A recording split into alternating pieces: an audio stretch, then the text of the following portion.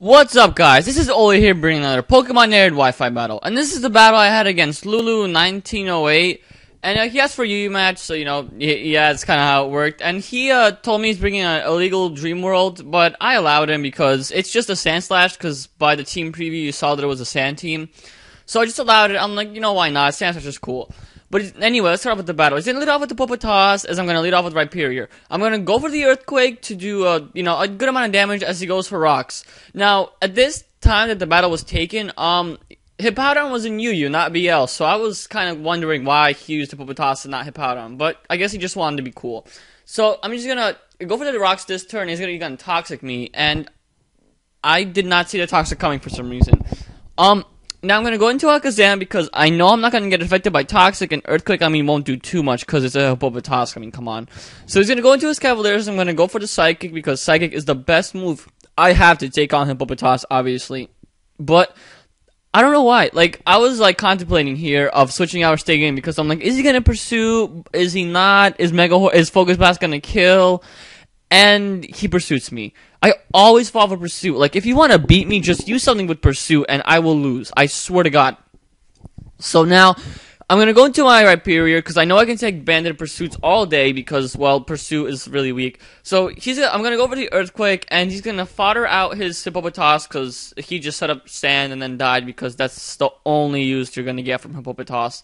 So now he's gonna switch out, go into Sandslash, and I believe, oh yeah, he's gonna go for the earthquake and obviously outspeed because, well, with Sand Rush, yeah, it's just gonna outspeed. It's fast now, and he does, you know, a lot because Sandslash has like base 100 attack, so it's actually pretty powerful. And I'm gonna go for the earthquake and do a lot too because, well, uh, Sandslash doesn't uh, have a lot of. I mean, it has a lot of defense, but he has no defensive investment since it's an offensive set. So he's gonna kill out my Rhyperior. You know, Rhyperior did well. It set up rocks. It killed one poke. It damaged severely another one. And here I go into Heracross because I know I can take an Earthquake from a Sandslash since it's not very effective. But it does a lot of damage. I'm like, fuck, that's too much. So I go for the Mega Horn, kill it off. I mean, I really should have offered the bla- to the two Blastoise there, but actually like judging this next turn, I wouldn't have. I shouldn't have. He goes into Cradily, and I'm like, why do you do that? Mega Horn is super effective, but I think he thought that Bug was resisted by Rock, but no, it's normal effective. So Rock and Grass, it's super effective, and I just knock it out in one hit. So I was like, yes, awesome. Now I'm to switch out because I know Mega Horn won't kill Escavalier. And I'm to fodder out my Yanmega because Me- Yanmega was kind of useless right now. Like, I don't know, just... Uh, I mean, Specs Yanmega is great, but it's just like, it doesn't... It never does enough to kill for some reason. But he's to knock me out with Mega Horn because it's a Banded Escavalier. It kills everything. And I'm going to go into my Heracross. It's going to close combat. And it's going, well, to easily kill it off, obviously. I don't know why I keep saying this. I'm gonna kill it off, and now, uh, if I'm not mistaken, he's gonna go into his Duosion, and this basically spelled the beginning of the end for me. I'm gonna go into my Snorlax, and I'm actually gonna start setting up, because I can easily wall this Duosion because of my uh, max special defense, or almost max, I don't even know how much I have invested, but I know that this Snorlax has a lot of special defense invested, or all of it actually, so I'm just gonna set up curses. Now, I've never really used a curse stacks before, so that's probably why I kind of misused it. But I don't know. I just, I don't know. But he's gonna go for the second, and he does get the special defense drop, which really did matter because this Snorlax would have been taking hits so much more, and I could have just rested and pissed him off. But that's not what's gonna happen. He's gonna get the special defense drop and then go for the hidden power fight fighting. And I'm gonna go for another curse here where I really should have body slammed. I was like a plus two, and I think I'm a plus three now where I'm a plus one. I mean, it doesn't matter. I should have body slammed here. After seeing the special defense drop, I should have body slammed. Because now, by setting up that uh, curse, I'm like, crap, I don't even know if I can live it anymore. But I do with 3 HP, which is great, I'm gonna body slam. But the thing is, if I would have went for two body slams, he would be like at red HP, basically. May- I mean, maybe not, but I'm pretty sure he would be.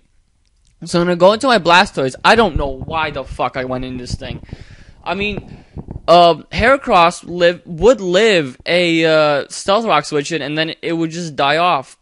So I don't know what kind of crack I was on when this happened, because well now this Duosion is like free to set up. Since I obviously was stupid and didn't go into my Heracross, I guess I was fearing I couldn't live a Stealth Rock switch, and that's why I went for the rapid spin. And then he has an Empoleon and the wings left, so maybe I don't know what I was thinking. I should have just went to Heracross, so, uh, kill the thing off, take sandstorm damage. I think I would still live, then switch out, and I would just kill the Empoleon. But that's not the case. I'm gonna have to go to my Heracross now, and here I was like thinking, I'm like maybe he's gonna set up a Calm Mind to recover. I don't know but he psychics, and that was the wrong turn to switch in. So I'm like, shit, it's basically over. And now I'm just gonna be have a stalwart of scalding and hoping to get a crit, or I will lose. So I just keep scalding. He sets up. You know, he's probably gonna get to like plus six. I don't even know how high he got up to. He's just gonna get really high. And Duosion has a massive special attack. I think it is the same as Reuniclus, uh, which is like 125 or 120.